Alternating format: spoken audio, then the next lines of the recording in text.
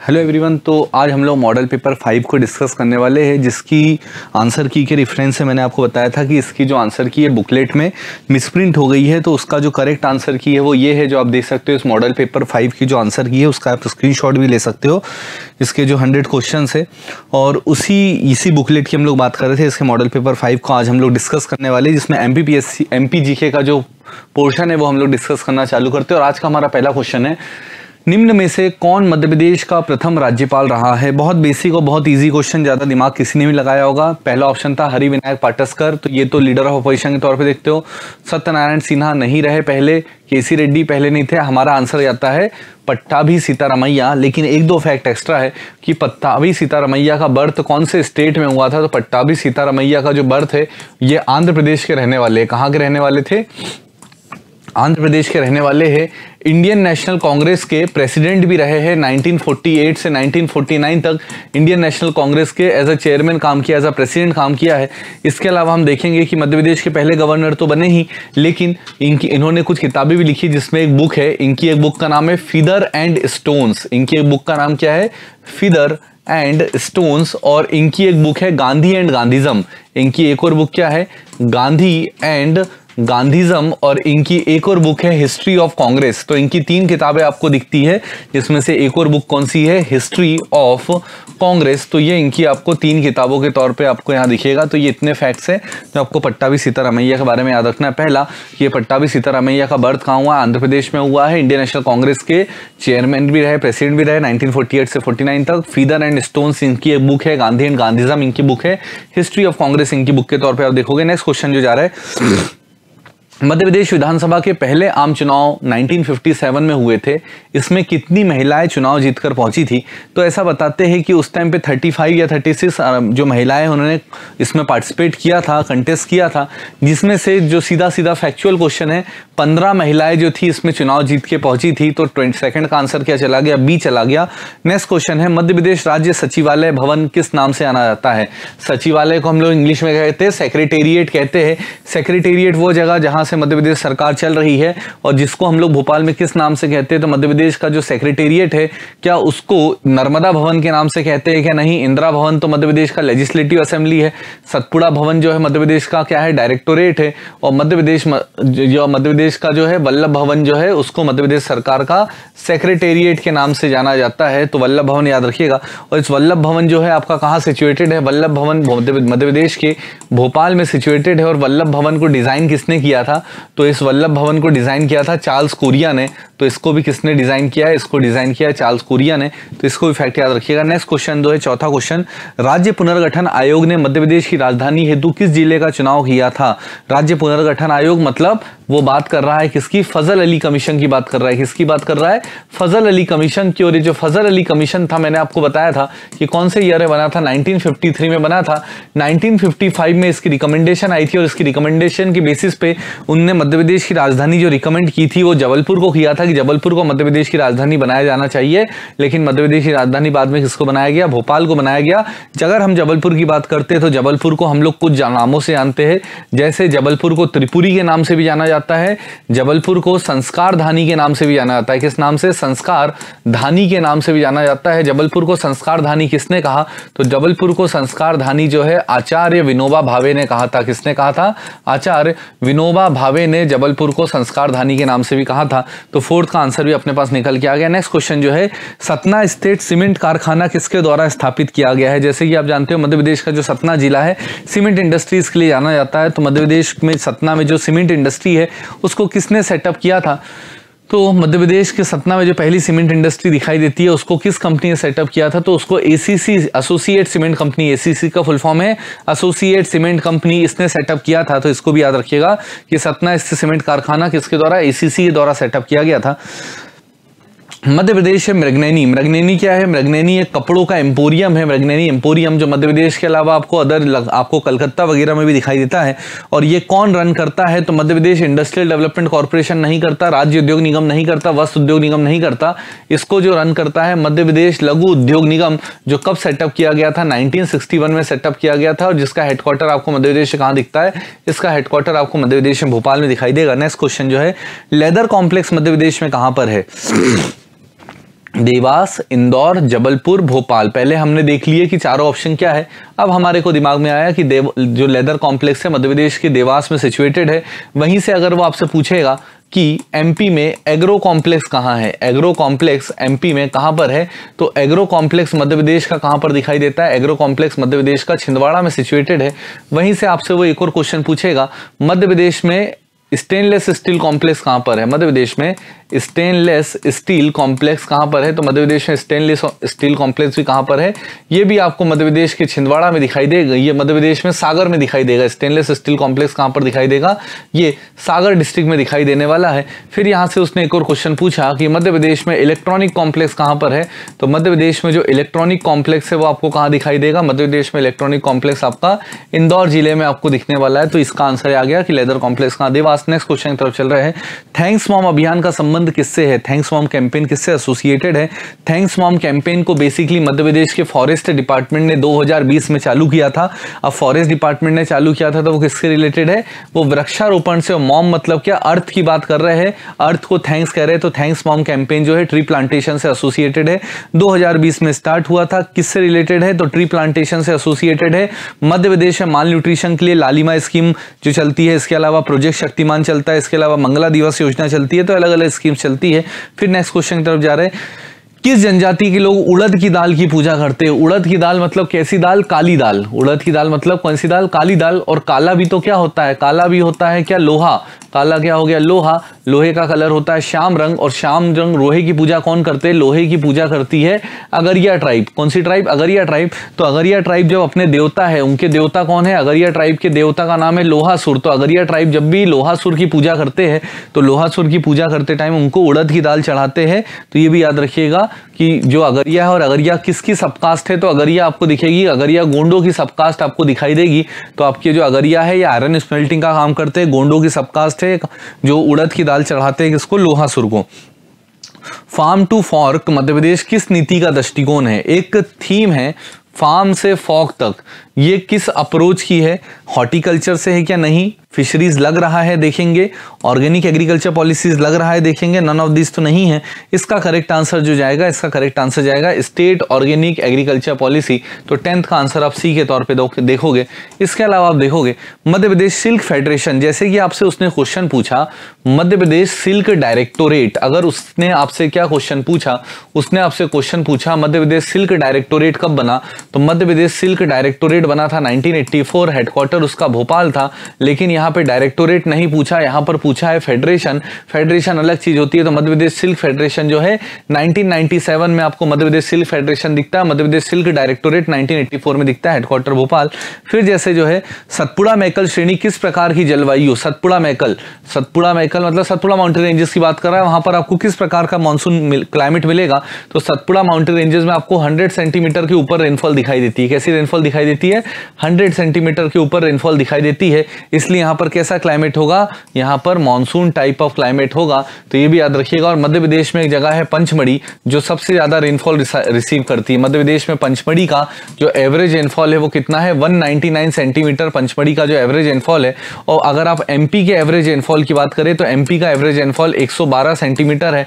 मध्य प्रदेश का जो सबसे सूखा जिला है, मध्य प्रदेश का जो सबसे ड्राई डिस्ट्रिक्ट है, वो कौन सा है? भिंड ज़िले। को मध्य प्रदेश का सबसे सूखा जिला कहेंगे। मध्य प्रदेश का सबसे लंबा राष्ट्रीय राजमार्ग राजमार्ग कौन सा है? सबसे लंबा राष्ट्रीय राजमार्ग मतलब नेशनल हाईवे, वो भी ऐसा लॉन्गेस्ट अब जब लॉन्गेस्ट की बात करते हैं तो एन पहले था एन नहीं है एन नहीं है।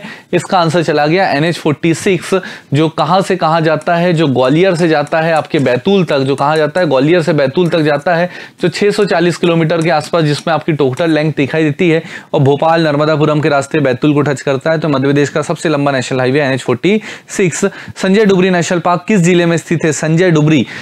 साल 2000 से पहले तक संजय डुबरी मध्य प्रदेश का सबसे बड़ा नेशनल पार्क हुआ करता था और ये जो संजय डुबरी नेशनल पार्क है, इसका एक बहुत बड़ा हिस्सा टूट के छत्तीसगढ़ में चला गया, जहाँ पे उसको गुरु घासीदास सेंचुरी के नाम से जाना जाता है। संजय डुबरी ये वही नेशनल पार्क है, वही जंगल है, जहाँ पर पहली बार व्हाइट टाइगर मोहन देखा गया था बरगड़ी नाले के पास। हालाँकि ये उस टाइम रीवा स्टेट के अंटर में आता था, इसलिए रीवा को लैंड ऑफ़ व्हाइट टाइगर के नाम से कहते हैं, लेकिन जो एग्जैक्ट आज की तारीख में जगह पड़ती है, बरगड़ी नाला जो मध्य प्रदेश के संजय डुबरी नेशनल पार्क में पड़ता है। तो ये जो संजय डुबरी नेशनल पार्क है, मध्य प्रदेश के कौन से डिस्ट्रिक्ट में है तो मध्य प्रदेश के सीधी डिस्ट्रिक्ट में आपको दिखाई देगा तो इसको भी थोड़ा सा याद रखिएगा। संजय डुबरी नेशनल पार्क, मध्य प्रदेश का कौन सा डिस्ट्रिक्ट सीधी। इसके अलावा आप जाओगे नेक्स्ट क्वेश्चन यहाँ पर अगर ऑप्शन की बात करें तो इंदौर में आपको कौन सी वाइल्ड लाइफ सेंचुरी दिखाई देगी?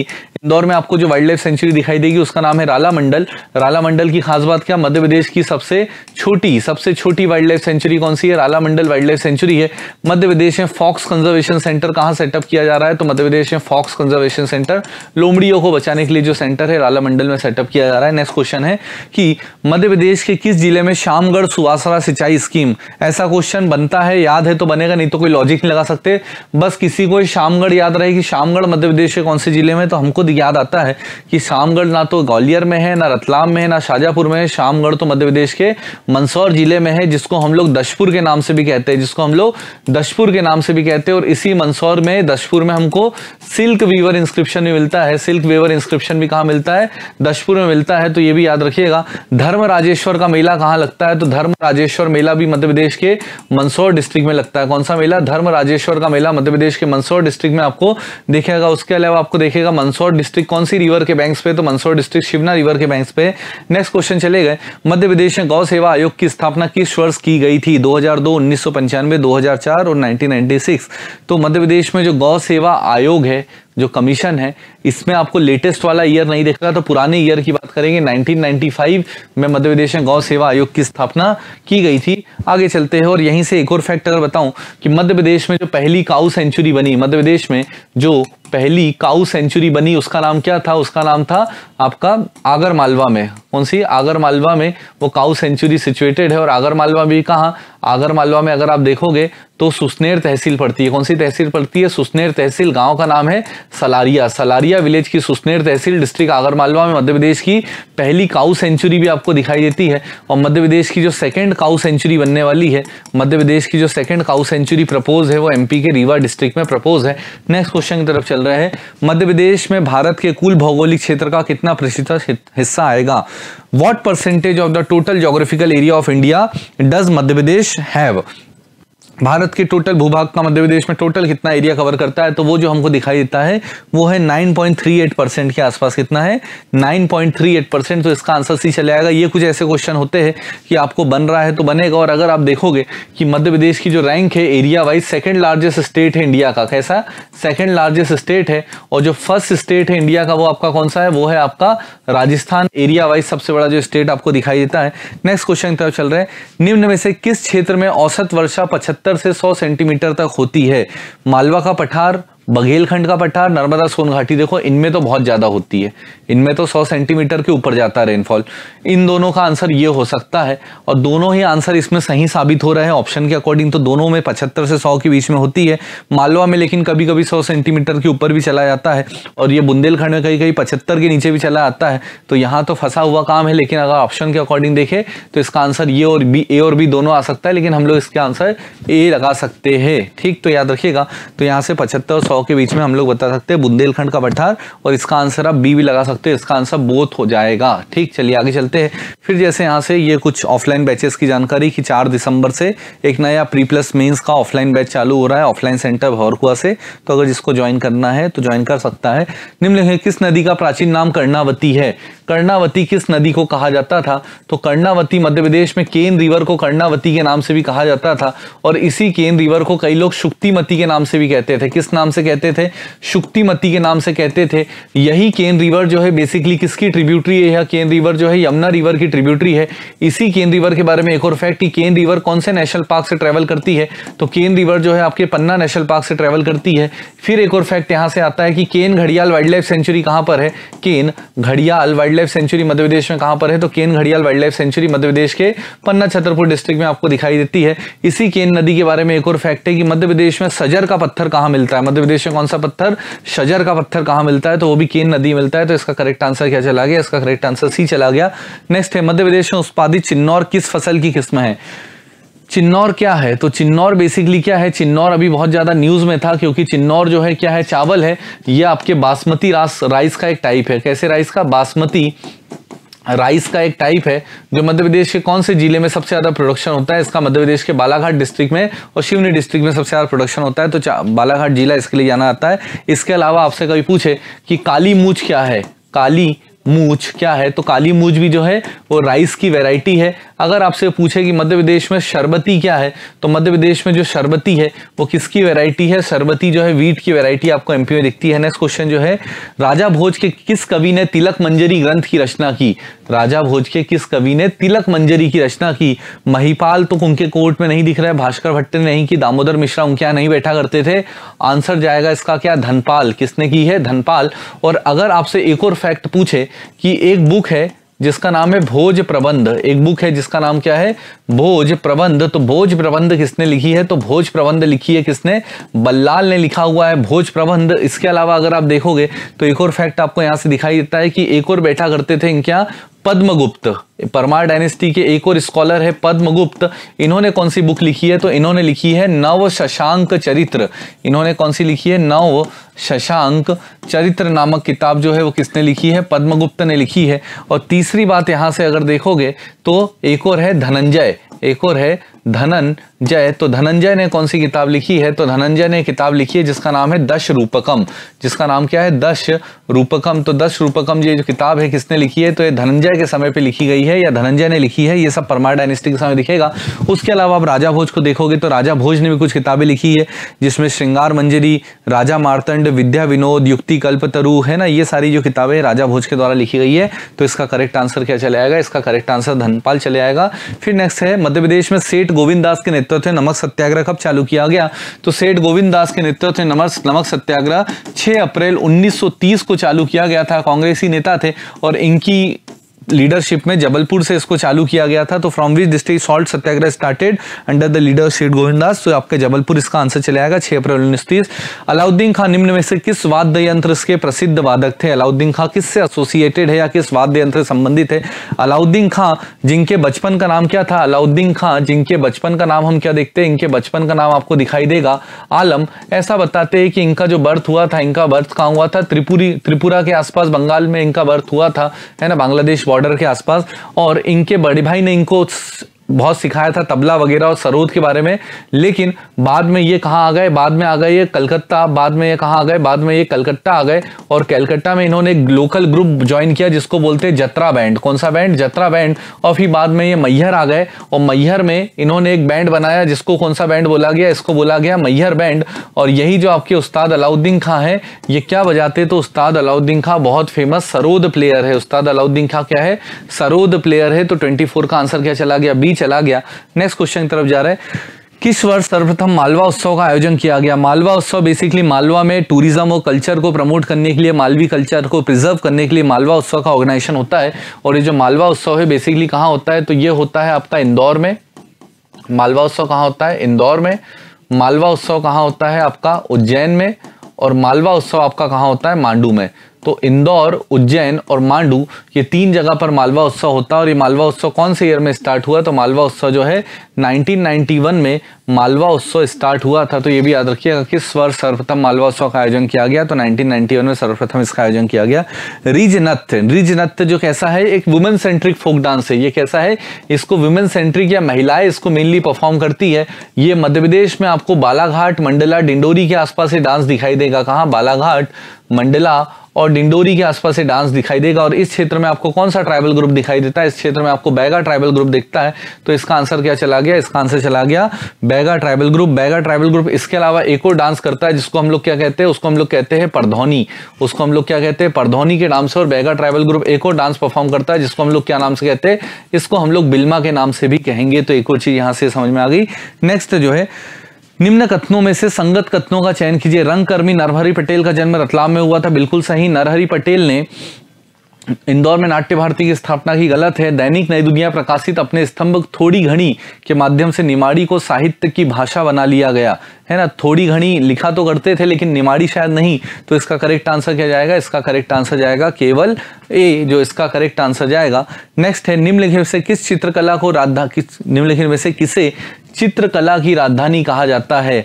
उदयगिरी की गुफा, मध्य प्रदेश में कौन से डिस्ट्रिक्ट में एमपी में, विदिशा डिस्ट्रिक्ट में आपको उदयगिरी की गुफा दिखती है, जो कौन सी डायनेस्टी से एसोसिएटेड है, जो गुप्ता डायनेस्टी से एसोसिएटेड है, जो कौन से रिलीजन से है तो जो शैविज्म से भी एसोसिएटेड है, जो शैविज्म से भी एसोसिएटेड है, जो जैनिज्म से भी एसोसिएटेड है और जो आपका कहीं ना कहीं वैश्वनिज्म से भी एसोसिएटेड है तो ये इसको कौन सी गुफा कहते हैं? इसको उदयगिरी की गुफा कहते हैं। बाघ की गुफा, बाघ की गुफा को क्या कहा जाता है? अजंता ऑफ़ एमपी के नाम से कहा जाता है। क्या कहा जाता है? अजंता ऑफ़ एमपी के नाम से कहा जाता है कि उसी बाघ की गुफा को। और फिर आपका आता है भीमबेटका रॉक शेल्टर्स इसका करेक्ट आंसर यही है।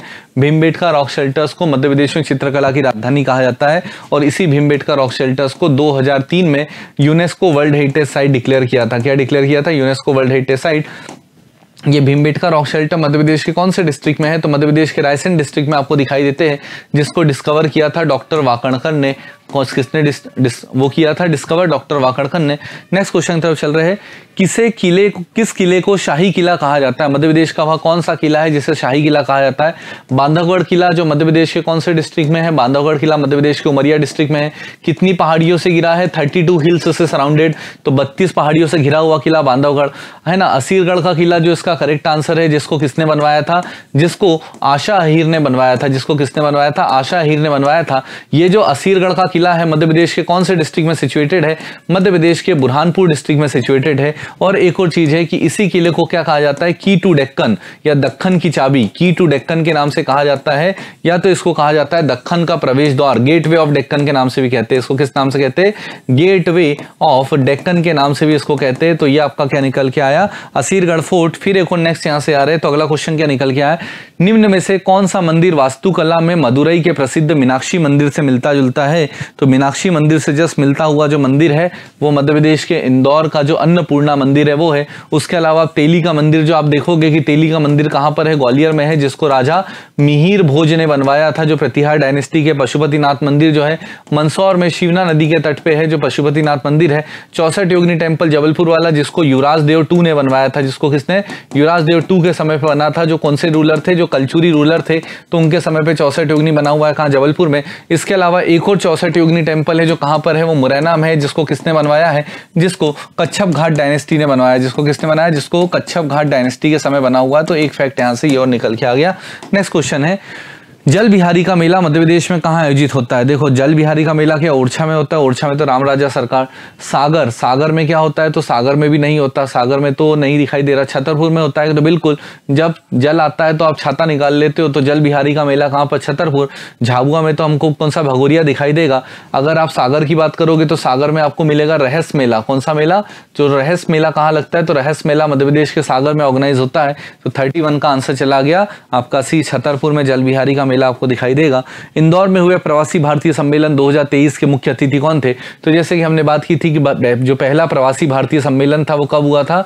2003 में ऑर्गेनाइज करवाया गया था और कब होता है? ये जनवरी 9 जनवरी को बेसिकली इसको सेलिब्रेट किया जाता है, लेकिन इंदौर वाला आठ से दस जनवरी तक सेलिब्रेट किया गया था।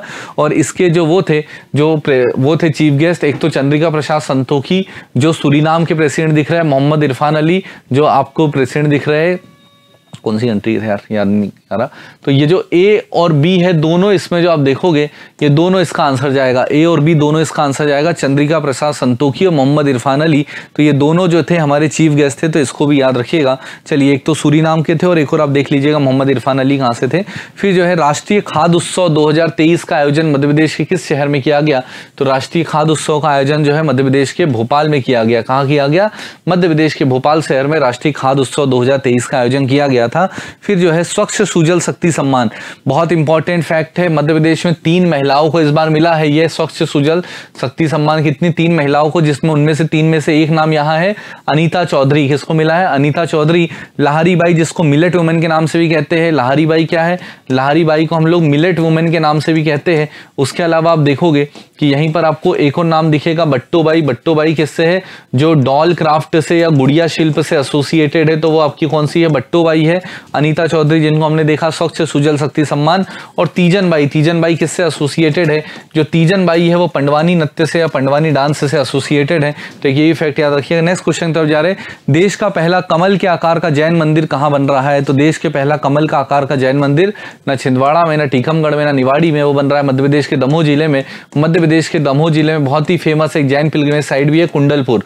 कुंडलपुर कहाँ पड़ता है? कुंडलपुर मध्य प्रदेश के दमोह में, जहाँ पर आपको एक जैन मंदिर भी दिखाई देगा। बड़े बाबा टेंपल तो कभी आपसे पूछे कि बड़े बाबा टेंपल मध्य प्रदेश में कहाँ पर है? तो बड़े बाबा टेंपल ही मध्य प्रदेश के दमोह डिस्ट्रिक्ट में सिचुएटेड है। फिर नेक्स्ट क्वेश्चन की तरफ़ जा रहे हैं। मध्य प्रदेश का पहला scuba driving school Madhya Pradesh का पहला स्कूबा ड्राइविंग स्कूल कहाँ खोला जा रहा है? तो मध्य प्रदेश का पहला स्कूबा ड्राइविंग स्कूल जो है, ओमकारेश्वर में खोला जा रहा है। ओमकारेश्वर मध्य प्रदेश के कौन से डिस्ट्रिक्ट में है? ओमकारेश्वर मध्य प्रदेश के खंडवा डिस्ट्रिक्ट में इसको मानधाता के नाम से भी कहते हैं। इसको मानधाता के नाम से भी कहते हैं। ये मध्य प्रदेश में कौन सी रिवर के बैंक्स पे है? तो मध्य प्रदेश में नर्मदा रिवर के बैंक्स पे ओमकारेश्वर में सोलार फ्लोटिंग प्लांट बन रहा है, क्या बन रहा है? सोलार फ्लोटिंग प्लांट बन रहा है। कितने मेगावाट का? तो 600 मेगावाट का यहाँ पर सोलार फ्लोटिंग पावर प्लांट ही बनने वाला है। इसी ओमकारेश्वर में आप देखते हो तो यहाँ पर आपको कुछ गुफाएँ देगी, जिसमें आपको यहाँ गुफाएँ दिखाई देगी, जिसमें आपकी काजल रानी की गुफा है, जिसमें आपको यहाँ पर एक और केव दिखाई देगी, शंकराचार्य केव्स तो शंकराचार्य केव्स ही आपको कहाँ दिखाई देनी है? वो भी आपको ओमकारेश्वर दिखाई देगी। तो थर्टी का आंसर आप क्या देख रहे हो? बी के तौर पर देख रहे हो तो एक चीज़ें है। और फाइनली ये कुछ बैचेस के बारे में इन्फॉर्मेशन और इस आगे आने वाले आपके रिस्पेक्टिव सब्जेक्ट्स की जो है आपकी फैकल्टी आपको आगे क्वेश्चन यहाँ पे डिस्कस कराएगी. थैंक यू नमस्कार दोस्तों कैसे हैं आप लोग? उम्मीद करता हूँ बढ़िया होंगे। आ, ये आपका पाँचवें नंबर का जो पेपर है जिसका डिस्कशन चल रहा है उससे पहले मेरे कलीग आपके सामने सवालों पर डिस्कशन कर रहे थे, मैं इस सेशन को आगे बढ़ाता हूँ और मेरी जो ज़िम्मेदारी है, वो राज्य व्यवस्था यानी कि पॉलिटी और साथ में पॉलिटी के साथ में आयोग यानी कि कमीशन के सवालों को करवाने की। तो देखिए भाई, आपकी प्रारंभिक परीक्षा 2023 जो 17 दिसंबर को आयोजित हो रही है, इस तैयारी को हम बहुत मज़बूत करवाने का प्रयास कर रहे हैं। उत्कर्ष कोशिश कर रहा है कि आप जब एग्ज़ाम से बाहर निकलें तो उसमें उत्कर्ष का भी बहुत बड़ा योगदान हो। और आपको लगे कि संस्था ने हमारे साथ में जस्टिस किया है, न्याय किया है। इसी कड़ी को मैं आगे बढ़ाता हूँ और आगे बढ़ा करके सबसे पहला सवाल देखता हूँ। भारत में संविधान सभा के गठन का विचार सर्वप्रथम, यानी कि जिस संविधान सभा ने भारतीय संविधान का निर्माण किया था, उस संविधान सभा के निर्माण का जो विचार आया था ये पहली बार विचार जो आया था वो 1934 में आया 1934 में, और ये विचार प्रस्तुत किए थे एम एन रॉय ने। साथ में यह विचार इसी समय पर, जो समय की स्वराज पार्टी थी, स्वराज पार्टी ने भी रखा था। और ये जो एम एन रॉय नाम के व्यक्ति हैं, ये एम एन रॉय साहब दरअसल एक व्यक्ति हैं जो साम्यवादी विचारक थे, कम्युनिस्ट विचारक, साम्यवादी विचारक थे और ये जो साम्यवादी विचारक हैं, ये बात। तो एम एन रॉय इसका आंसर हो जाएगा मानवेंद्रनाथ रॉय अगला सवाल, निम्न समितियों में से सही जोड़े का चयन कीजिए। प्रारूप समिति के जो अध्यक्ष थे, प्रारूप समिति के अध्यक्ष थे, वो थे डॉक्टर अंबेडकर। डॉक्टर अंबेडकर और इस प्रारूप समिति को बनाने के लिए सच्चिदानंद सिन्हा सॉरी सत्यनारायण सिन्हा ने कहा कि प्रारूप समिति बननी चाहिए और 29 अगस्त 1947 को बनी थी और डॉक्टर अंबेडकर 30 अगस्त 1947 को इसके अध्यक्ष बने थे। प्रांतीय समिति, जो रियासतों की समिति थे, इसके जो अध्यक्ष थे प्रांत, प्रांतीय नहीं, प्रांत प्रांत समिति। और प्रांतीय समिति के, प्रांतीय समिति के कौन थे भाई? सरदार पटेल और प्रांत समिति के, जिसका प्रांतीय नहीं होगा, नहीं तो फिर आंसर नहीं निकाल पाएँगे। प्रांत समिति के पंडित जवाहरलाल नेहरू। ये सही हो जाएगा। इसके बाद में मूल अधिक हाँ तो ठीक है भाई, ये भी गलत हो गया। सही का, सही जोड़ा निकालना है। मूल अधिकार उप समिति जे बी कृपलानी, अल्पसंख्यक उप समिति राजेंद्र प्रसाद तो अल्पसंख्यक उप समिति के कौन थे? एच सी मुखर्जी साहब थे। और इस वजह से इसमें जो सही जोड़ा है वो क्या है? मूल अधिकार उप समिति जिसके अध्यक्ष थे जे बी कृपलानी साहब। अगला सवाल देखिए भाई। देश में प्रत्यक्ष निर्वाचन की व्यवस्था, यानी कि जो निर्वाचन शुरू हुआ था इलेक्शन शुरू हुआ, और निर्वाचन शुरू हुआ था 1892 से अठारह से और कौन सा निर्वाचन था भाई? अप्रत्यक्ष निर्वाचन। और इसके बाद में आगे चल करके 1909 में आ गया था। पृथक निर्वाचन, यानी कि सेपरेट इलेक्शन और आगे चल करके 1919 में इसमें आया था प्रत्यक्ष निर्वाचन, ये बात। तो आंसर क्या हो जाएगा? प्रत्यक्ष निर्वाचन, यानी कि 1919 का अधिनियम A is the right answer अगला सवाल देखिए भाई। लोक नियोजन में अवसर की समानता, यानी कि सरकारी नौकरी में सभी को समान अवसर मिलेंगे, यह किसमें लिखा हुआ है? तो दरअसल यह समता का अधिकार है और आर्टिकल नंबर 16 में लिखा हुआ है, जिसमें कहा गया है कि मूल वंश मूल वंश, धर्म, जाति, लिंग, जन्म स्थान जन्म स्थान, वंश और निवास के आधार पर लोक नियोजन में भेदभाव नहीं होगा। आर्टिकल 15 में पाँच प्रकार हैं और आर्टिकल 16 में सात प्रकार के से भेदभाव को मना किया गया अगला, परीक्षा से पहले दीजिए दस बार परीक्षाएँ, यानी कि उत्कर्ष ने तैयार की है एम पी प्रीलिम से परीक्षा से पहले दीजिए दस बार परीक्षाएँ। यह क्वेश्चन बैंक है जिसमें एक हज़ार महत्वपूर्ण प्रश्नों को रखा गया है और इन एक हज़ार अति महत्वपूर्ण प्रश्नों को दसों एम आर सीट के साथ में रखा गया है। और इस बुक के माध्यम से आप अपनी तैयारी को निखार सकते हैं आपके एग्ज़ाम प्रारंभिक परीक्षा के एग्ज़ाम से। 170 पेज की किताब सिर्फ़ साठ रुपये में आपको मिलेगी। या तो आप बुक स्टोर पर चले जाइए, नज़दीकी बुक स्टोर पर, या तो उत्कर्ष पे आ जाइए, या फिर इसे को स्कैन करके जो बुकशाला है बुकशाला है ऑर्डर कर सकते हैं ऑनलाइन इस बुक को, मंगा सकते हैं। दस मॉडल पेपर हैं जिनको टारगेट किया गया है कि 2023 की प्रारंभिक परीक्षा से पहले आप अपनी तैयारी को मज़बूत कर सकते हैं। अगले सवाल पर चलते हैं भाई। अब आता है कमीशन यानी कि आयोग पर सवाल देख लीजिए भाई। तो आयोग पर पहला सवाल क्या है भाई? दिनेश गोस्वामी समिति का संबंध किससे है? तो दिनेश गोस्वामी समिति का संबंध चकमा समस्या से नहीं भाई। बैंकों के राष्ट्रीयकरण से नहीं, किससे है भाई? निर्वाचन सुधारों से संबंधित है। दिनेश गोस्वामी समिति। अगला देख लीजिए भाई। अगला सवाल। अगला सवाल क्या हो गया ये? अगला सवाल। हाँ देश में सर्वप्रथम राज्य निर्वाचन आयोग का गठन कहाँ हुआ था? देश में राज्य निर्वाचन आयोग का गठन कहाँ हुआ था? तो ऑब्वियसली कहाँ हुआ था भाई? मध्य प्रदेश में। एक फरवरी उन्नीस सौ चौरानवे को इसका क्या किया गया था भाई? गठन किया गया था ये बात। अगला आंसर राष्ट्रीय हरित न्यायाधिकरण से सदस्यों की नियुक्ति किसके द्वारा की जाती है? राष्ट्रीय हरित न्यायाधिकरण जो 2010 में स्थापित हुआ, किसके द्वारा की जाती है? तो आपको याद रखना है, ये नियुक्ति की जाती है भाई उच्चतम न्यायालय के परामर्श से केंद्र सरकार द्वारा, चयन समिति की सिफारिश पर केंद्र सरकार द्वारा। तो किसके द्वारा भाई? चयन समिति की सिफारिश पर कौन करता है भाई? के, केंद्र सरकार के द्वारा इसका क्या किया जाता है भाई? गठन किया जाता है। राज्य लोक सेवा आयोग अपनी वार्षिक प्रतिवेदन किसको देता है? तो जो राज्य लोक सेवा आयोग है ये अपना प्रतिवेदन किसको देगा भाई? इस अपना प्रतिवेदन देगा राज्यपाल को। और राज्यपाल कहाँ ले जाएगा भाई? संसद के पटल पे। संसद के पटल पर ले जाएगा। और कौन ले जाएगा भाई? राज्यपाल। अगला सवाल देखिए भाई। नेक्स्ट क्वेश्चन पहले से ही शुरू करना पड़ेगा।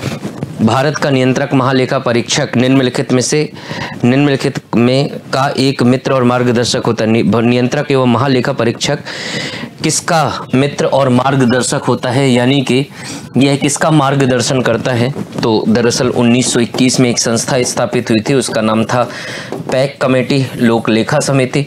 और इस वजह से इसका आंसर क्या हो जाएगा? इसका आंसर हो जाएगा लोक लेखा समिति। सबसे बड़ी समिति कौन सी है? प्राकलन समिति। इसमें 22 सदस्य होते हैं। और इसमें कितने होते हैं भाई? 30 सदस्य होते हैं। ये बात। निम्नलिखित में से किस सिद्धांत पर नीति आयोग काम करता है? तो जो नीति आयोग काम करता है, वो भौतिकवाद पर, सहकारी संघवाद पर, इनमें से कोई नहीं तो दोनों पर करता है भाई। भौतिकवाद पर और सहकारी संघवाद पर। ये बात। तो इसका आंसर डी हो जाएगा। इसके बाद में अगला देखिए भाई। नेक्स्ट क्वेश्चन है और नेक्स्ट क्वेश्चन में क्या लिखा हुआ है भाई? राष्ट्रीय मानवाधिकार आयोग में कितने ऐसे सदस्य होने चाहिए जिन्हें मानवाधिकारों से संबंधित जानकारी हो? यानी कि मानवाधिकार से संबंधित जानकारी रखने वाले व्यक्ति। तो कितने होने चाहिए भाई? तो मानवाधिकार की जानकारी रखने वाले तीन होने चाहिए। 2019 से पहले दो थे, अब कितने कर दिए गए हैं भाई? तीन कर दिए गए हैं। अगला देखिए। अगला लास्ट क्वेश्चन है भाई, और लास्ट क्वेश्चन क्या है? मध्य प्रदेश राज्य बाल अधिकार संरक्षण आयोग के अध्यक्ष एवं सदस्य की सेवा शर्तों का निर्धारण कौन करता है? तो बाल अधिकार संरक्षण आयोग अधिनियम जो पारित किया गया था 2005 में 2007 से स्थापित हुआ, और 2007 से स्थापित होने के बाद में अधिकार किसको है भाई? राज्य सरकार को। और बाल संरक्षण आयोग की नोडल एजेंसी क्या है? नोडल एजेंसी है महिला एवं महिला एवं बाल विकास मंत्रालय। विकास मंत्रालय। ये बात। तो क्या हो जाएगा answer B is the right answer ये आज के हमारे सवाल थे M P P S C prelims batches M P batches target है 2024 से स्टार्टिंग हो रही है। चार जनवरी से 2024 में U P S C prelims batch भी स्टार्ट हो रहा है, वो भी स्टार्ट हो रहा है चार जनवरी से। प्रलिम्स टेस्ट सीरीज़ टारगेट है 2023 तेरह एफ़ के साथ में, और इसके बाद में प्रलिम्स टेस्ट सीरीज़ है, जो कि पाँच जनवरी से क्या हो रही है भाई? स्टार्ट हो रही है, ये बात। इसके बाद में हम अगले टेस्ट डिस्कशन के साथ में फिर से मिलेंगे। तब तक मैं नए एक्सपर्ट को बुलाना चाहूँगा। मैं आप लोगों से विदा लेता हूँ। धन्यवाद। नमस्कार दोस्तों, फिर सभी से आप सभी का स्वागत है उत्कर्ष में। टेस्ट नंबर फाइव की हम लगातार बात कर रहे हैं। इसमें ज्योग्राफी के जो क्वेश्चन है, उम्मीद करता हूँ आपको बहुत अच्छे से बने होंगे। ज्योग्राफी के सेक्शन का पहला क्वेश्चन जो आपके सामने था, वो था बुलफ्रॉम किस का आयस्क है? धातु से उठाया हुआ है इंडस्ट्री उद्योग से प्रश्न उठाया है। बुलफ्रॉम किसका आयस्क है? तो भाई, बहुत सरल क्वेश्चन है। ये किसका आयस्क है? टंगस्टन का। एल्यूमिनियम क्या, किसका आयस्क क्या तो ऐसे प्रश्न आप लगातार हल करते रहेगा जिससे आपको और भी बेटर मिलेगा। इससे रिलेटेड जो भी डेटा है, ये आपको इंडिया वर्ल्ड और फ़िज़िकल संबंधित जितने भी स्टैटिक डेटा है एमबीपीएससी उत्कर्ष चैनल पे आपके पास उपलब्ध है। आप जाइए वीडियो सेक्शन में और इसको ज़रूर एक बार टैली करिएगा। दूसरा प्रश्न है, दिफू दर्रा कहाँ पर है? तो दिफू दर्रा की उपस्थिति कहाँ दिखाई देती है? तो भाई दिफू दर्रा की उपस्थिति दिखाई देती है अरुणाचल प्रदेश में। कहाँ दिखाई देती है? अरुणाचल प्रदेश में यह दर्रा प्रमुख रूप से दिखाई देता है। जैसे सिक्किम में नाथुला और जेलेपला है, वैसे अरुणाचल प्रदेश में बूम डीला यांगयाप जैसे दर्रा है, मणिपुर में तुजू दर्रा दिखाई देता है। निम्नलिखित में कौन सा चैनल जो जल डमरू है, ये ग्रेट निकोबार समूह और सुमत्रा को, के बीच में है। Which of the following channel strait is located between the great Nicobar island and Sumatra तो the Sumatra and the great Nicobar island between a very important channel it is known as great channel तो great channel किसके बीच में है? तो India का great Nicobar जो निकोबार समूह का भाग है, और नीचे सुमात्रा जो इंडोनेशिया का भाग है, इसके बीच में स्थित है। यहीं पर the India most southern point Indira point भी लोकेट करता है। नंबर एक को नंबर बी से जोड़ना है, इसको टेल कर सूची को सेट करना है, उत्तरी Andaman middle Andaman south Andaman and great Andaman को सेट करके बताइए। तो इसकी ऊँची चोटियाँ कौन किसकी है? Which is the highest peak यदि ये पता है दोस्तों तो बहुत अच्छे से बता पाएँगे। तो उत्तरी अंडमान किससे जोड़, की हाईएस्ट पीक क्या है? सैडल पीक इट मीन एक आंसर बी है। अब ए का बी कहाँ है? केवल यही है। इट मीन इसका आंसर इतना सरल हो गया। अब देखो, मिड अंडमान। तो मिड अंडमान की हाईएस्ट पीक क्या है? डियोवोली है। साउथ अंडमान साउथ अंडमान की सबसे ऊँची चोटी माउंट कोयोब है, जबकि ग्रेट निकोबार की सबसे ऊँची चोटी माउंट थूलियर है। जबकि इन सब में भी जो सबसे हाईएस्ट पीक है, वो 772 मीटर ऊँची ग्रेट निको सॉरी द नॉर्थ अंडमान पर स्थित कौन सी चोटी है? सैडल पीक है जो अंडमान और निकोबार की भी हाईएस्ट पीक है। निम्न में से कौन सी नदियाँ ब्रह्मपुत्र की सहायक नदियाँ हैं? Which of the following river are the tributary of Brahmaputra? Burhi Dihang Dhansiri, Subansiri, Hooghly और संकोच क्या हुगली इसकी सहायक नदी है? नो संकोच है, सुबनसिरी है, धनसिरी है, दिबांग है। अब जब नदी निकलती है तो कहाँ से निकलती है? तिब्बत, चाइना से निकलती है। उसके बाद लगातार ईस्ट टूवर्ड्स मूव करती है। फिर नामचाबुरवा के पास से जब यू टर्न लेती है, तब अलग नाम से जानी जाती है। सियांग कहते हैं। जब भारत में एंटर होती है तो दिहांग नाम से जानते हैं। जब इसमें दिबांग और लोहित मिल जाती है तो इसे ब्रह्मपुत्र कहा जाता है। पूरी स्टैटिक डेटा की बात यूट्यूब वीडियोज़ में की है इंडियन जोग्राफी वाले में। ज़रूर वहाँ से दिखेगा। बट यहाँ से आंसर है हुगली। इट मीन हुगली इसकी सहायक नदी नहीं है। वो हुगली को छोड़ दें फोर नंबर ऑप्शन को छोड़ दें तो आंसर हो जाएगा one two three five it mean C option जो है, वो करेक्ट नज़र आता है। निम्न में से कौन सा बल पवनों को वेग और दिशा को प्रभावित करता है? Which of the following force effect the velocity and direction of wind पवन प्रवाह को कौन परिवर्तित कर सकता है? दाब प्रवणता, घर्षण बल कोरियोलिस बल। कौन कौन कर सकता है? तो भाई, इनमें से कौन कौन से कर सकता है? तो प्रेशर ग्रेडियंट फोर्स डेफिनेटली करेगा। फ्रिक्शन फोर्स ये तो करेगा ही कोरियोलिस फोर्स ये भी करेगा। इट मींस तीनों कंडीशन सही है आंसर हो जाएगा डी कोरियोलिस या फेरल का नियम कहता है कि उत्तरी गोलार्ध में चलने वाली जो पवन है विंड्स हैं, वो चलती हैं क्लॉकवाइज और साउथ या दक्षिणी गोलार्ध में सदन हेमिस्फीयर में चलने वाली करेंट्स होती है एंटी क्लॉकवाइज दक्षिणी जो गोलार्ध होता है, इसकी चवड़ने घड़ी की विपरीत दिशा में चलती हुई नज़र आती हैं। अगला क्वेश्चन चलते हैं। मरुस्थल की समस्या के लिए C A Z R I central arid zone research institute की स्थापना कहाँ की गई है? तो भाई, ये जो मरुस्थल है डेजर्ट की बात की गई ये थार के मरुस्थल, जिसे हम ग्रेट इंडियन डेजर्ट कहते हैं, इसके ऊपर की गई है और मूल रूप से जो इसकी स्थापना है, वो की गई है जोधपुर में। ये की गई है 1959 में। तो आंसर हो जाएगा ए 1959 में जोधपुर में। मरुस्थलीय कार्यक्रम या मरुस्थल के विकास को कैसे रोका जाए, कैसे उसे सीमित किया जा सकता है, इन सभी उद्देश्यों के लिए इसकी स्थापना की गई है। पेट्रोलियम क्षेत्र के सही युग्मों का विचार करना है कि पेट्रोलियम रीजन एक तरफ़ स्टेट दिया हो, एक तरफ़ रीजन के बारे में दिया हुआ है। कौन कहाँ पर है? क्या बोरहोल्ला जो असम में है, आपको यह बताना क्या बोरहोल्ला जो क्षेत्र दिखाई देता है, क्या यह असम में वास्तविकता में है? तो इसका आंसर हो जाएगा हाँ या नहीं। तो बोरहोल्ला कहाँ पर है? क्या असम में ना। ये असम में ना होकर कहाँ पर है दोस्तों? तो ये है नागालैंड में है। तो ये नागालैंड में दिखाई देता है। निगारू कहाँ पर है? अरुणाचल प्रदेश में ल्यूनेजोस क्षेत्र कहाँ है? तो गुजरात में गुजरात के अलावा यदि इसका आंसर देखें तो दो और तीन सही आंसर हो जाएगा। सी, गुजरात की बात करें तो यहाँ और भी क्षेत्र यहाँ लोकेट करते हैं, जिनमें इंपॉर्टेंट है। आलिया बेट, खादिया बेट और लास्ट में है दलिया बेट।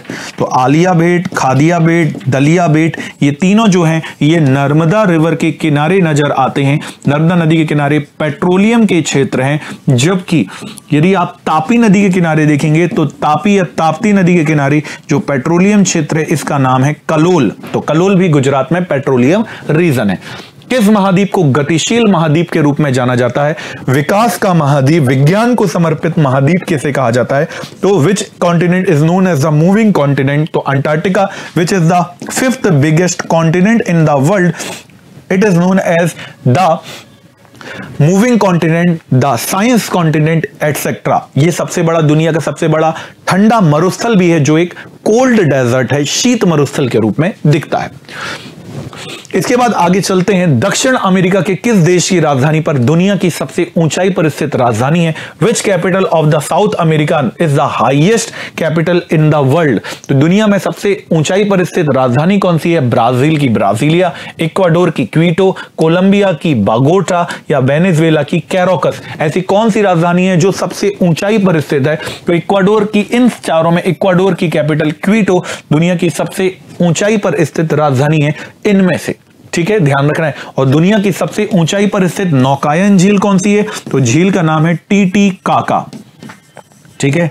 तो लापास ऊंचाई पर झील भी लापास जो राजधानी है, वो दुनिया की सबसे ऊंचाई पर स्थित राजधानी है। पर यहाँ पर ऑप्शन में क्वीटो दिया है, इसलिए क्वीटो ऑप्शन हम लेंगे। पर दुनिया की सबसे ऊंचाई पर स्थित नौकायन झील कौन सी है? तो लेक टीटी काका है, जबकि दुनिया की सबसे बड़ी लेक कौन सी है? वो भी सेलाइन लेक की बात करेंगे तो कैस्पियन सागर है। वहीं पर यदि हम फ्रेश वाटर की बात करेंगे तो सबसे बड़ी जो झील है, वो सुपीरियर लेक है which is located in USA विश्व का सबसे बड़ा संरक्षित उद्यान बुड वफेलो नेशनल पार्क कहाँ पर है?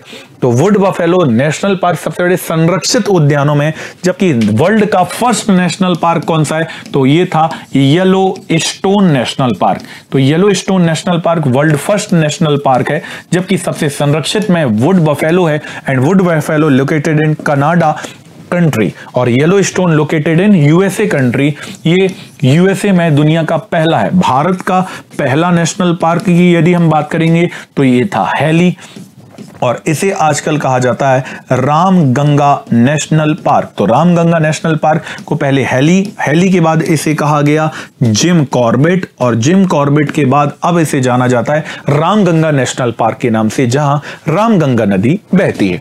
इसके बाद राष्ट्रीय आपदा प्रबंधन प्राधिकरण किस मंत्रालय के अधीन काम करता है? तो भाई राष्ट्रीय the national disaster management authority किसके अंतर्गत काम करती है? होम मिनिस्ट्री और अभी अमित शाह जी इसके मुख्य हैं। अमित शाह जी के नियंत्रण में ये काम करती है। इसके अलावा एनडीएमए, एसडीएमए, डीडीएमए कैसे काम करता है, क्यों काम करता है 2005 में एक्ट क्या बना, किस एंगल में था, इसकी तैयारी रखिएगा। उज्जैन में कब त्रासदी हुई, बालासौर घटना क्या हुई, केरल में कब बाढ़ आई जम्मू कश्मीर की बाढ़ क्या थी, उत्तराखंड केदारनाथ आपदा क्या है, इससे रिलेटेड बहुत सारे प्रश्न हैं, जिसे हमने अलग अलग वीडियोस में कवर किए हैं, यूट्यूब में जाकर उसे ज़रूर देखिएगा। उम्मीद करता हूँ ये पांचवा टेस्ट भी आपका बहुत अच्छा गया होगा। छठवें टेस्ट की अग्रिम शुभकामनाएँ। आगे में हिस्ट्री के शिक्षक आपके आगे की बात करेंगे।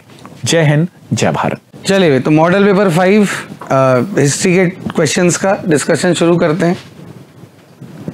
तो पहला क्वेश्चन है, एक स्टेटमेंट है, देखो स्टेटमेंट बड़े इंपॉर्टेंट है, आजकल आते हैं तो जहाँ भी देखो, हम सारे स्टेटमेंट कभी कवर नहीं कर सकते, ये सच्चाई है।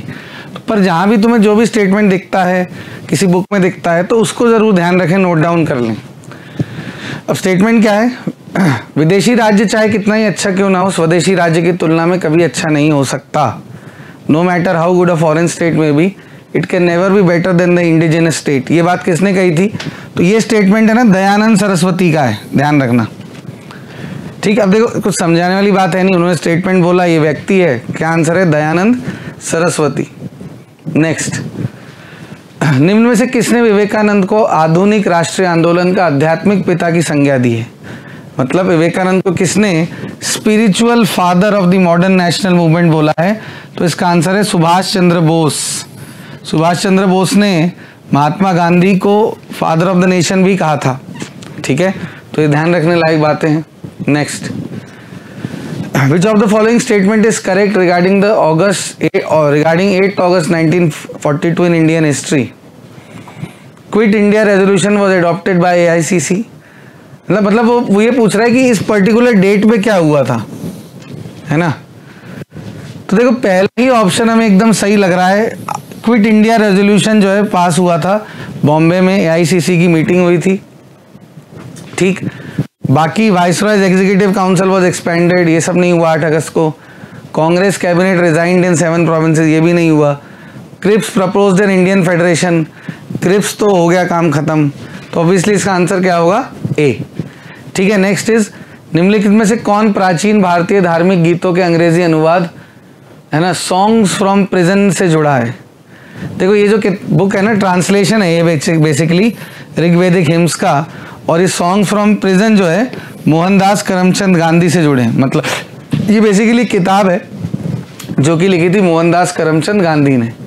Next who among the following was associated as the secretary of Hindu Mahila school which later came to be known as Bethune Mahila school ध्यान रखना बेथूने एक ब्रिटिश एजुकेशनिस्ट थे, है ना? और 1849 में ईश्वर चंद्र विद्यासागर को इसका प्रिंसिपल या जो भी कह लो, है ना हेड बनाया गया था।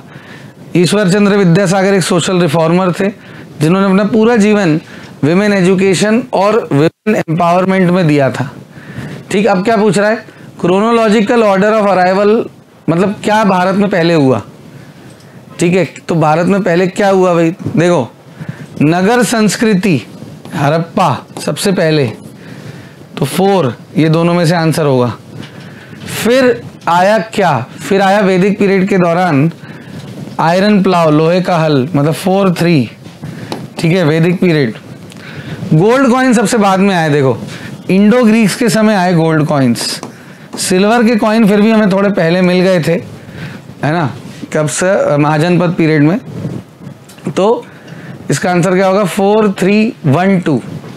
तो ये रहा, four, three one two clear चलो भाई next in which of the following Upanishad the dialogue between Yama and Nachiketa is found Yama और नचिकेता मतलब यमा जो थे, वो is the god of death Nachiketa ने उन पर कई सारे सवाल पूछे थे डेथ को लेकर।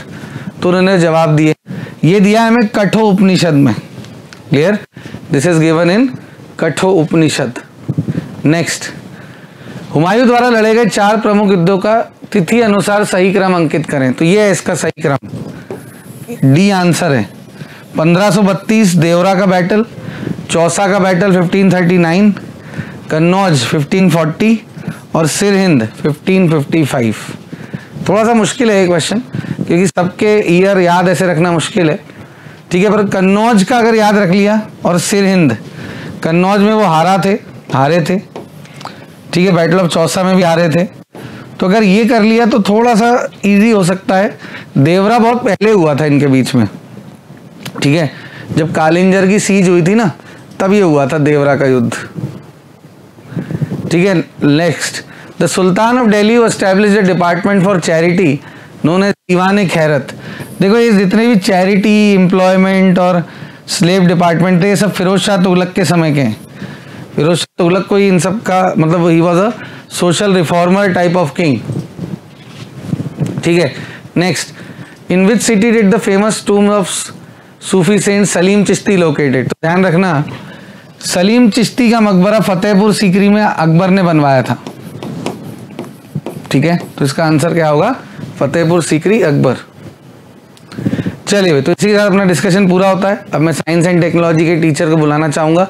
जो कि साइंस एंड टेक के क्वेश्चन आपके साथ डिस्कस करेंगे। Thank you hello everyone welcome to Utkarsh classes बेटा मेरा नाम है डॉक्टर अनमोल और हम बात कर रहे हैं आज मॉडल पेपर नंबर पाँच के डिस्कशन की। मॉडल पेपर नंबर पाँच के डिस्कशन की। जो है आपका साइंस एंड टेक मतलब यूनिट सेवन और यूनिट नाइन सीधे प्रारंभ करते हैं पहला क्वेश्चन। पृथ्वी के गुरुत्वीय बल की सीमा के बाहर फेंके जाने हेतु पलायन वेग का मान क्या होता है? What is the value of escape velocity for being thrown out of the range of earth gravitation force जो आपका कहाँ चला गया? स्केप वेलोसिटी होती है ना बेटा? वो स्केप वेलोसिटी हमेशा एक मिनिमम वेलोसिटी होती है। एक हमेशा न्यूनतम मान होता है। जिससे फेंकने पर कोई चीज़ पृथ्वी के गुरुत्वाकर्षण gravitational force earth gravitational force से बाहर जाती है और वापस पृथ्वी पे कभी नहीं आती। ठीक? और वो न्यूनतम वैल्यू होती है 11.2 किलोमीटर पर सेकेंड आंसर है सी सी फॉर चेन्नई इससे ऊपर कुछ भी फेंकोगे आप, वो पृथ्वी पे वापस नीचे नहीं आएगा, लेकिन इससे नीचे फेंकोगे तो वापस ज़मीन पे आके गिरेगा। अगला, पृथ्वी का सबसे पुराना जीव कौन सा है? नील हरीश शैवाल which of the following which which is the oldest organism on earth blue green algae fungus amoeba euglena पृथ्वी का सबसे पुराना कौन है? ब्लू ग्रीन एल्गी नील हरीश शैवाल, कवक अमीबा युगलीना बेटा ब्लू ग्रीन एल्गी का एक और नाम होता है साइनोबैक्टीरिया ब्लू ग्रीन एल्गी का एक नाम क्या होता है? साइनो बैक्टीरिया ये बैक्टीरिया है, उसमें भी पुराने बैक्टीरियाओं में से एक है। आर की बैक्टीरिया के बाद इसका नंबर आता है। ये कवक जो होता है, फंगस जो होता है, ये होता है डिकम्पोजर अपघटक। ये सबसे पुराना नहीं होता। अमीबा, ये भी पुराना नहीं होता। प्रोक्रेटिक के अंदर आता है। युगलीना, ये जंतु और पादप के बीच की कड़ी है। प्लांट और एनिमल के बीच की क्या है? बीच की कड़ी है। लिंक है ये। ये भाई साहब जो हैं ब्लू ग्रीन एल्गी ये फोटोसिंथेसिस कर सकते हैं, प्रकाश संश्लेषण कर सकते हैं।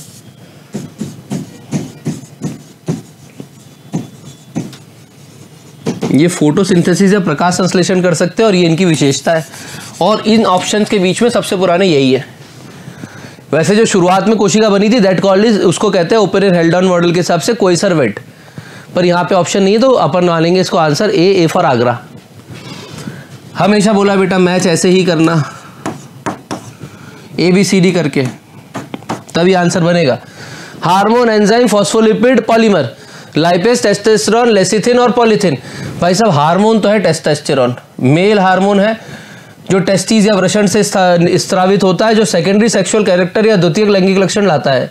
ठीक, एंजाइम एंजाइम है लाइपेज, जो वसा का पाचन करता है तो two one. Phospholipid lecithin is a phospholipid तो आंसर हो गया तीन और बहुलक पॉलीमर इज़ पॉलिथिन दो एक तीन चार, दो एक तीन चार आंसर है A A for Agra answer है A A for Agra simple सा क्वेश्चन सिंपल सा आंसर ज़्यादा कॉम्प्लिकेट करने की ज़रूरत नहीं है चीज़ों को. लेकिन अगर आपने इसको गोल गोल घुमा के मिलाने की कोशिश की, वो जो लाइन खींच खींच के मिलाते हैं ऐसे, कभी आंसर नहीं निकलेगा. पेपर में घबराहट इतनी होती है कि नहीं हो पाता तो हमेशा इस विधि से मिलाना। निम्नलिखित में से कौन सा युग्म सही सुमेलित नहीं है? Which of the following pair is not correctly matched ठीक है विटामिन ए थाइमिन बिल्कुल सही। इसकी कमी से जो बीमारी होती है, उसका नाम है बेरी बेरी इसकी कमी से जो बीमारी होती है, उसका नाम है पॉलीन्यूराइटिस सत्यवचन vitamin B B two riboflavin, सही बात है, और उसकी कमी से जो बीमारी होती है, उसका नाम है cheilosis. Vitamin B seven, biotin, भाई साहब, इकलौता सल्फ़र युक्त विटामिन है। सल्फ़र पाया जाता है, ये भी सही नाम है। Vitamin B nine, ascorbic acid, ना, ascorbic acid is vitamin C. तो यही गलत है। तो आंसर हो गया डी डी फॉर डेल्टा। अगला, करनाल बंट एक बीमारी है। बेटा नज़र रखेंगे, इस जैसे क्वेश्चन कभी कभी आते हैं, ज़्यादा नहीं आते। लेकिन ये गेहूँ की बीमारी है। आपके पास रटने के अलावा कोई फ़र्क नहीं पड़ता इनसे। बंट माने की बोथरी हो जाती है संरचना। अगला, निम्नलिखित में से कौन सा फल मधुमेह रोगी के लिए अमृत माना जाता है? Which of the following fruit is considered consider nectar for diabetic patients बेटा, ध्यान से जामुन। ये डायबिटिक कंट्रोल करने काम में आते हैं बेरीज मैंगो अमरूद, ये दोनों तो वैसे भी खाना मना रहते हैं क्योंकि हाई शुगर होती है इनमें। तो आंसर है जामुन। इसके बीजों को सुखा के पाउडर बना के यूज़ करते हैं इवन जामुन भी खाए जाते हैं। अगला, शार का पूरा नाम था। शार का पुराना नाम था। The old name of SHAR was the old name of SHAR was number एक इंडियन डीप स्पेस नेटवर्क नहीं भाई। उत्तर पूर्वी अंतरिक्ष उपयोग केंद्र north east space application centre नहीं भाई। विक्रम आसारा, भाई, स्पेस सेंटर, ये भी नहीं, सतीश धवन अंतरिक्ष केंद्र। भाई, ध्यान से देखना, सतीश धवन अंतरिक्ष केंद्र इसका नाम करा था 2002 में। उसके पहले इसका नाम था श्री हरिकोटा रेंज। तो सही आंसर होता श्री हरिकोटा रेंज अगर होता तो लेकिन नहीं है तो कोई नहीं से, ना मामा से काना मामा अच्छा। सतीश धवन, अंतरिक्ष केंद्र इसका आंसर यहाँ पे लिया जाएगा। तो आंसर हो गया डी डी फॉर दिल्ली। दूर संचार प्रसारण हेतु प्रयुक्त उपग्रहों को भू अप्रगामी कक्षा में रखा जाता है। इतनी ज़्यादा हिंदी कैसे बनेगी? एक उपग्रह ऐसी कक्षा में तब होता है जब, इंग्लिश देखना पड़ेगा भाई। Satellite use for telecommunication are kept in geostationary orbit. हाँ भाई सब जियो स्टेशनरी ऑर्बिट, जिसका एक हिंदी नाम होता है सीधा सादा सा देसी नाम भूस्थैतिक कक्षा। बिल्कुल रखा जाता है। दो ही कक्षाओं में रहते हैं। संचार उपग्रह, या तो भूस्थैतिक में या भू संक्रमणकारी में जियो स्टेशनरी में या जियो सिंक्रोनस में। A satellite is said to be such orbit when एक उपग्रह ऐसी कक्षा में तब होता है जब कक्षा भूतुल्यकालिक होती है। बिल्कुल सही। The orbit is geosynchronous मतलब 24 घंटे में चक्कर पूरा होगा वहाँ पे, सत्य वचन है। दूसरा कक्षा वृत्ताकार होती है। बिल्कुल वृत्ताकार होती है। कक्षा पृथ्वी की भूमध्य रेखा के समतल होती है। हाँ भूमध्य रेखा the orbit is in the plane of the earth equator बिल्कुल ज़ीरो डिग्री का एंगल बनाती है, बिल्कुल माना। कक्षा बाईस हज़ार तीन सौ छत्तीस किलोमीटर की तुंगता पर होती है। The orbit is at altitude of बाईस हज़ार twenty two thousand two thirty six kilometre. बिल्कुल गलत। पैंतीस हज़ार सात सौ छियासी किलोमीटर की ऊंचाई पे होती है। और मेंस में अपन इसको नियर अबाउट मान लेते हैं, कितने किलोमीटर? छत्तीस हज़ार। तो ये डेटा गलत है। तो फोर तो कंफर्म गलत है। फोर कंफर्म गलत है तो ये भी गया, ये भी गया। ऑल ऑफ़ दी अबाउ नहीं हो सकते, ये भी गया। आंसर हो गया एक।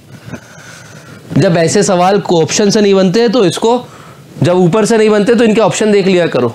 इसमें सब में दिख रहा है बहुत ध्यान से कि भाई ओनली फोकस करो किस पे? फोर पे। अगर फोर सही है तो बाकी ऑप्शन खुलेंगे और फोर गलत हो गया तो सिर्फ़ एक ही ऑप्शन बचता है। ए फॉर आगरा पेपर में प्रेजेंस ऑफ़ माइंड बड़े काम में आएगा। आधुनिक कंप्यूटर के पिता किसे कहते हैं? One line question Alan Turing आगे बढ़ते हैं। विश्व का प्रथम रोबोट निर्माण कंपनी है। विश्व की प्रथम रोबोट कंपनी निर्माण कंपनी जॉर्ज सी डेवोल की थी। कंपनी का नाम था यूनिमेशन और जो रोबोट बनाया था, उसका नाम था यूनिमेट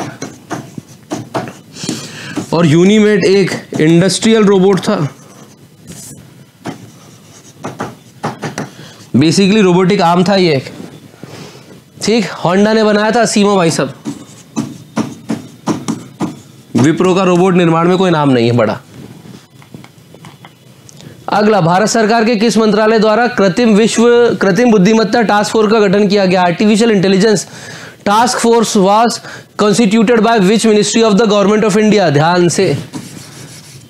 Ministry of commerce and industry ने आर्टिफिशियल इंटेलिजेंस टास्क फोर्स बनाया है ताकि अपने पूरे वित्तीय लेन देन के ऊपर नज़र रखी जा सके।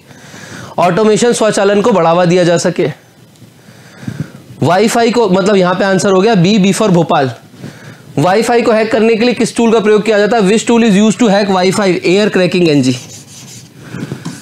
air cracking device use करते हैं वाईफाई को हैक करने के लिए। मतलब ए फॉर आगरा ई प्रशासन से संबंधित सही विकल्प का चयन कीजिए। समतली संगठन कंप्यूटर पर आधारित उपलब्धि और लक्ष्य उन्मुखी उपरोक्त सभी।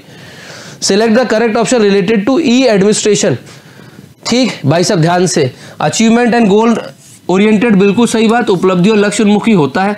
कंप्यूटर आधारित बिल्कुल होता है तो ये भी हो गया तो आंसर हो जाता है डी फॉर डेल्टा क्योंकि हमको ये समझ नहीं आता, समतली संगठन प्लेनर ऑर्गेनाइजेशन जो सब एक दूसरे के साथ बराबरी से काम करे, वो कहलाते हैं प्लेनर ऑर्गेनाइजेशन तो आंसर तो यहाँ पे हो जाता है D for delta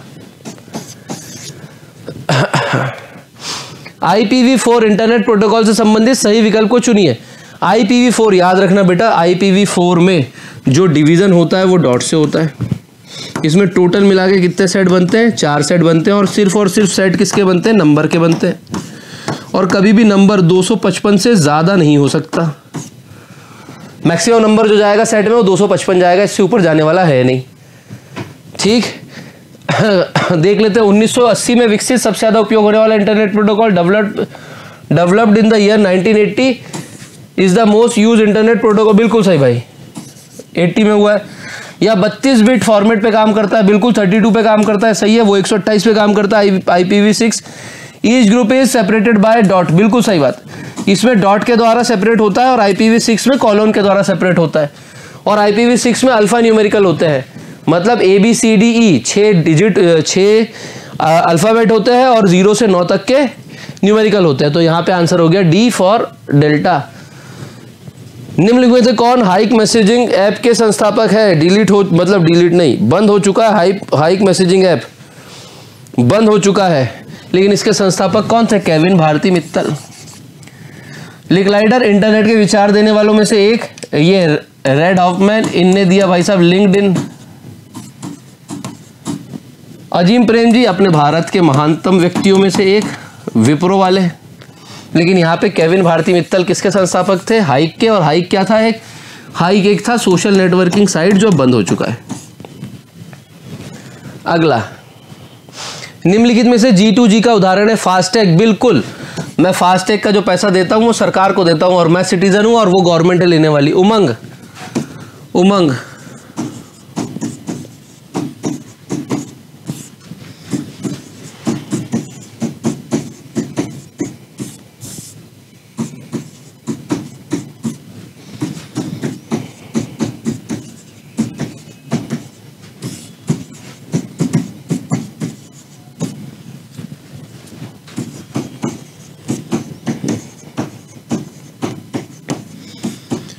Unified mobile application for new age governance. बिल्कुल साहब, ये भी एक जी टू सी है, जिसमें हमको सभी सुविधाएँ प्राप्त होती है अपने प्रमाण पत्र बनवाने से लेकर शिकायत दर्ज करने तक। ई मित्र सेवा ई मित्र सेवा राजस्थान सरकार की सेवा है।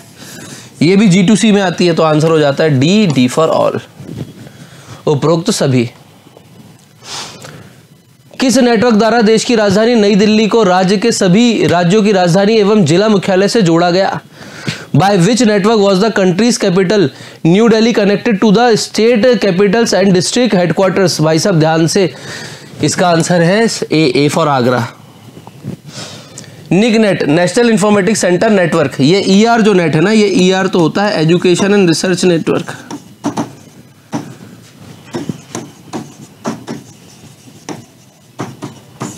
तो ये तो ऑप्शन नहीं है आंसर है एनआईसी निक नेट 1987 का सीन है.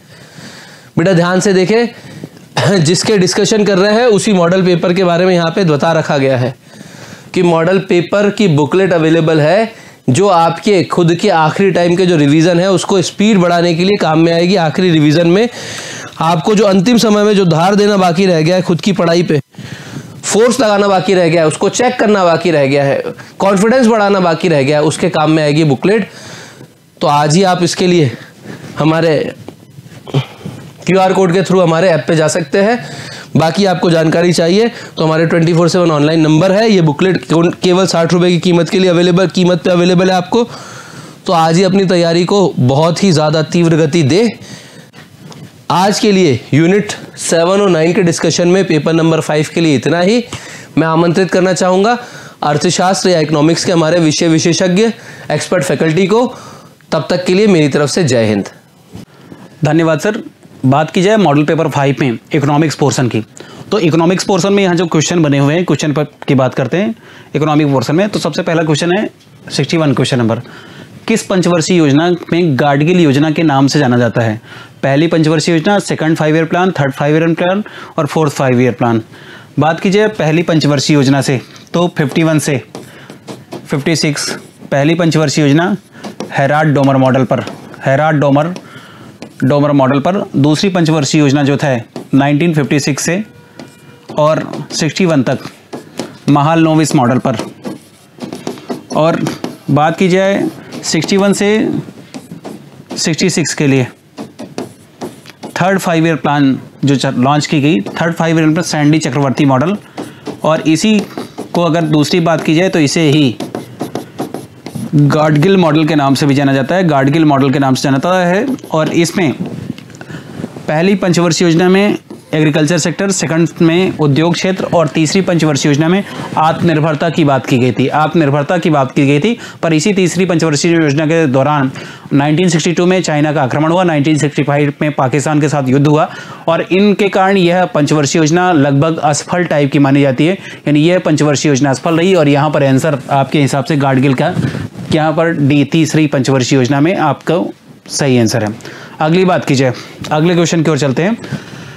आरबीआई की स्थापना किस आयोग की सिफारिश पर की गई? अगर बात की जाए, नरसिम्हन आयोग आर्थिक सुधार के समय इसका गठन किया गया था, दो बार गठन किया गया था। हिल्टन यंग आयोग की बात करें, इसे जिसे रॉयल कमीशन या शाही आयोग के नाम से जानते हैं। रॉयल कमीशन या शाही आयोग के नाम से जानते हैं। इस कमीशन के रिकमेंडेशन पर, इस कमीशन के रिकमेंडेशन पर 1935 में 1935 में केंद्रीय बैंक के रूप में आरबीआई की स्थापना का प्रावधान किया गया। यानी इसे ही हिल्टन यंग कमीशन चूँकि इस आयोग के अध्यक्ष हिल्टन यंग थे रॉयल कमीशन या शाही आयोग के, इसलिए इसे, इस कमीशन का नाम हिल्टन यंग कमीशन के नाम से जानता है। तो अप्रैल 1935 में आरबीआई की स्थापना एक केंद्रीय बैंक, भारत के केंद्रीय बैंक के रूप में की गई थी। अगले क्वेश्चन की ओर चलते हैं और अगला क्वेश्चन आपके करंट अफेयर सेशन से। तो करंट अफेयर्स के सेशन में जब क्वेश्चन करते हैं तो सबसे पहले आपके क्वेश्चन दिया हुआ है यहाँ पर। क्वेश्चन नंबर सेवेंटी किस मंत्रालय ने जीईएम पोर्टल के माध्यम से खरीद के लिए बेस्ट एंगेजमेंट का अवार्ड जीता है? Which ministry has won the best engagement award for purchasement through GM portal GM portal जो ऑनलाइन पोर्टल की बात की जाए जीएम पोर्टल से किस मंत्रालय ने यह अवार्ड जीता हुआ है? कोयला मंत्रालय है, आपके गृह मंत्रालय है, कृषि मंत्रालय है और स्वास्थ्य मंत्रालय। तो कोयला मंत्रालय बात की जाए तो वाणिज्य मंत्रालय ने, वाणिज्य मंत्रालय ने जीएम पोर्टल के माध्यम से खरीदारी के लिए उत्कृष्टता जो अवार्ड दिए हैं, उसमें से कोयला मंत्रालय, कोल मिनिस्ट्री की बात की जाए, इसे बेस्ट एंगेजमेंट का अवार्ड दिया गया है। कोल इंडिया लिमिटेड की बात की जाए तो इसे राइजिंग स्टार और एनएलसी इंडिया लिमिटेड को समय पर पेमेंट करने के लिए, टाइम पर पेमेंट करने के लिए इसमें अवार्ड दिया गया है। अगले क्वेश्चन की बात करते हैं। प्रतिवर्ष पूरे भारत में एक जुलाई को राष्ट्रीय चिकित्सक दिवस किस, किन के? फिफ्टी फिफ्थ जन्मदिन पर मनाया जाता है। यानी किसके जन्मदिन पर मनाया जाता है, किसके जन्मदिन पर बात की जाए? तो बात की गई कि विधान चंद्र राय विधान चंद्र राय जो प्रसिद्ध वैज्ञानिक चिकित्सक हैं, प्रसिद्ध चिकित्सक हैं, इनके जन्मदिन के अवसर पर, चौ सेवेंटी फोर्थ क्वेश्चन को देखिएगा ध्यान से सेवेंटी फोर्थ क्वेश्चन में आपको दिया गया राष्ट्रीय चिकित्सक दिवस जो है, भारत के प्रसिद्ध चिकित्सक की बात की जाए, जो पश्चिम बंगाल के दूसरे मुख्यमंत्री डॉक्टर विधान चंद्र राय की बात की जाती है, इनकी जयंती के अवसर पर यह प्रोग्राम यह मनाया जाता है, यह राष्ट्रीय चिकित्सक दिवस मनाया जाता है। ये राजनेता भी थे, विशेषज्ञ भी थे। आईआईटी दिल्ली किस शहर में अपना ग्लोबल कैंपस खोलने जा रहा है? अभी अभी बात की जाए अबू धाबी में। आईआईटी दिल्ली ने अपना अबू धाबी में एक अपना ग्लोबल कैंपस खोलने की बात की गई कि यहाँ पर ग्लोबल कैंपस अपना स्थापित करेगा। नेक्स्ट क्वेश्चन की बात करते हैं। विश्व तीरंदाजी युवा चैंपियनशिप 2023 में जूनियर मिश्रित टीम कंपाउंड का स्वर्ण पदक किस जोड़ी ने जीता है? जिसमें प्रियांत और अवनीत कौर तरुणीप तरुणदीप और दीप, दीपिका कुमारी, अतानुदास और डोला बनर्जी, तरुणदीप और अवनीत कौर। ये अली अलग अलग सारे लोगों के नाम दिए गए हैं। यहाँ अगर क्वेश्चन की बात करें तो प्रियान, प्रियांश और अवनीत कौर ने। अभी अभी विश्व तिरंदाजी युवा चैंपियनशिप 2023 को यहाँ इसराइल को हराया इसराइल के खिलाड़ियों को हरा करके और जूनियर मिश्रित टीम कंपाउंड का यहाँ स्वर्ण पदक जीता हुआ है। तो बात की जाए कि प्रियांश और अवनीत कौर यहाँ आंसर होंगे जिन्होंने इसराइल के प्लेयर्स को हरा करके और अवार्ड जीता है। ए आई एफ़ एफ़ पुरुष प्लेयर ऑफ़ ईयर 2023 से किसे नामित किया गया? सुनील छेत्री नहीं लालिया, Lallianzuala Chhangte. Deepak Kumar Ravi Dahiya. Who has been named the A I F F men's player of the year बात की जाए दो खिलाड़ियों की। फीमेल में मनीषा कल्याण। मनीषा कल्याण को यह अवार्ड दिया गया और मेल में दिया गया लालियान जुआला चांगते, जो मिजोरम की खिलाड़ी हैं, इन्हें मुंबई एफसी की तरफ़ से खेलते हैं। मुंबई एफसी के खेलने वाले लालियान जुआला चांगते को यह अवार्ड प्रदान किया गया। एफ़ एफ़ प्लेयर्स अवार्ड पुरुष प्लेयर फुटबॉल का अवार्ड यह प्रदान किया गया है। फुटबॉल के खेल में यह अवार्ड प्रदान किया जाता है।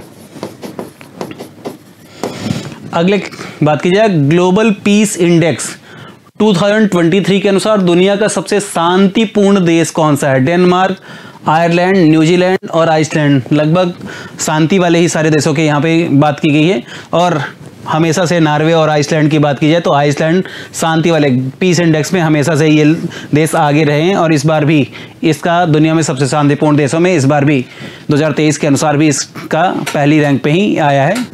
जबकि बात की जाए सबसे कम शांतिपूर्ण देश की, अफ़गानिस्तान की बात की जाए, जो अफ़गानिस्तान सबसे कम शांतिपूर्ण देशों में इसकी काउंटिंग की गई है। चर्चित नमदा कला नमदा कला का संबंध किस राज्य या केंद्र शासित प्रदेश से है? The famous Namda art is related to which state और और यूनियन टेरिटरी तो बात की जाए जम्मू कश्मीर की। तो जम्मू कश्मीर का नमदापुरा की बात की, नमदा नमदा आर्ट की बात की जाए तो नमदा एक गलीचा है। गलीचा है जो विशेष रूप से जम्मू कश्मीर में पाया जाता है और इसके बारे में बात की गई कि यह ऊनी रेसों को, पानी साबुन के प्रेशर से इसको बनाया जाता है, मिलाकर बनाया जाता है और इसमें कढ़ाई करके इसकी निर्माण किया जाता है। तो यहाँ पर जम्मू कश्मीर में यह विशेष प्रकार का नमदा कला, नमदा आर्ट यहाँ पर गलीचों के लिए फ़ेमस है। हाल ही में लॉन्च किए गए चंद्रयान तीन। चंद्रयान तीन जो चंद्रमा से संबंधित रहा, भारत का सफल मिशन में से एक माना जाता है, जिसका अभी अभी रॉकेट गिर करके और अमेरिका के कहा गया कि समुद्र में गिर करके उसको समाप्त किया गया है। इसका प्रोजेक्ट डायरेक्टर किसे बनाया गया था? तो एस सोमनाथ, के के सिवान, इन, और पी वीराम थुवेल इनमें से कोई नहीं तो पी वीराम थुवेल को इसका प्रोजेक्ट बताया गया कि इसका project director, P Veeramuthuvel को इसका प्रोजेक्ट डायरेक्टर नियुक्त किया गया था। इंडियन पीमर प्रीमियर लीग की सबसे मूल्यवान फ्रेंचाइजी तो इंडियन प्रीमियर लीग की Mumbai Indians Chennai super kings royal challenge Bangalore या गुजरात टाइटन्स तो बात की जाए इंडियन प्रीमियर लीग की सबसे मूल्यवान जो है फ्रेंचाइजी की बात की जाए तो चेन्नई सुपर किंग्स ही सबसे मूल्यवान इसकी फ्रेंचाइजी है धोनी इसमें अभी अभी आया है कि अगले भी चेन्नई सुपर लीग का जो कैप्टन है, वह धोनी को ही बना करके रखा जाएगा। South Asian football federation championship 2023 का टाइटल किस देश ने जीता? भारत, कुवैत, पाकिस्तान और Saudi Arabia. Which country won the title of South Asian football federation championship sports से करंट से एक और क्वेश्चन आपके सामने। तो इंडिया ने South Asian football federation championship 2023 का टाइटल देश, भारत ने जीत लिया है। अगले क्वेश्चन की ओर चलते हैं। अगला क्वेश्चन तो शायद केवल टेलीविज़न के संबंध में है। केवल टेलीविज़न के लिए कहा गया है कि अब आपको केवल ऑपरेटर को कहा गया है कि एक विशेष प्रकार के जो चैनल्स हैं, उनको आपको चला के ही रखना है, फ्री रखना है। इनका प्रसारण अनिवार्य कर दिया गया है। प्रसारण अनिवार्य की बात की जाए तो पूछा गया किसके? Free to earth, free to air, free to sea. या इनमें से कोई नहीं किन का प्रसारण अनिवार्य किया गया है। तो अभी अभी बात की गई कि ऐसे चैनल जो फ्री टू एयर हैं, इनका प्रसारण अनिवार्य कर दिया गया, इनके चैनलों का प्रसारण करने की अनिवार्यता सरकार ने निर्धारित कर दी है। तो ये मॉडल पेपर फाइव के आपके सारे क्वेश्चन है। इनको आप सॉल्व करिए, पहले पेपर में लगाइए। पेपर जो आपने खरीदे हैं, उन पेपर को सारे अच्छे तरह से कवर करिए। कवर करने के साथ साथ करंट अफेयर्स की मैगजीन्स को पढ़ते रहिए। करंट अफेयर्स लगातार इंपॉर्टेंट पोर्सन रहा है। और साथ साथ इकोनॉमिक्स के कुछ क्वेश्चन जो सबसे बनते हैं, वो आपसे गलत नहीं होने चाहिए। तो आगे वाले पेपर्स को लगाइए और आगे लगातार हम ऐसे मॉडल पेपर के साथ आपके साथ सोल्यूशन करते रहेंगे। तो अग्रिम भविष्य के लिए शुभकामनाएँ। धन्यवाद।